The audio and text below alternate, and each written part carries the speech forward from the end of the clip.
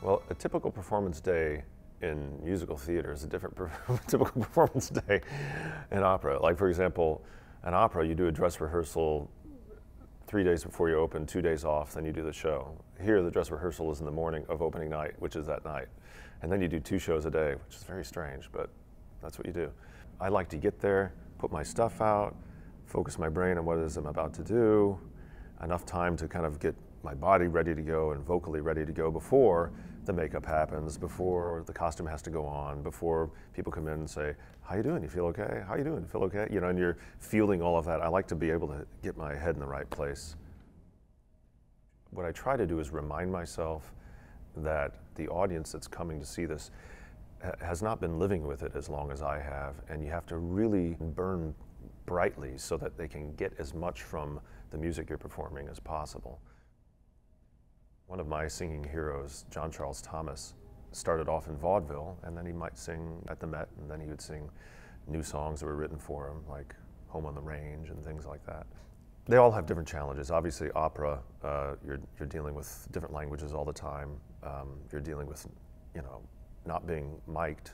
I kind of find that the microphone allows you to use a, a kind of palette that I would normally use for a recital because the hall's 600 seats, as opposed to the Met it's 4,000 seats where you're pretty much on loud and loudest all the time.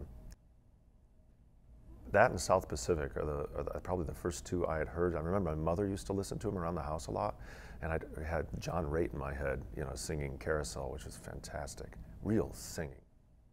For me, it's a pretty easy fit. You know, the role of Billy Bigelow, it's written for my voice type. I have to say, it's, it's not that difficult to slip into the part. The trickiest part is, you know, this anti-hero thing, like I did with Gaylord Ravenal. He's not a good guy.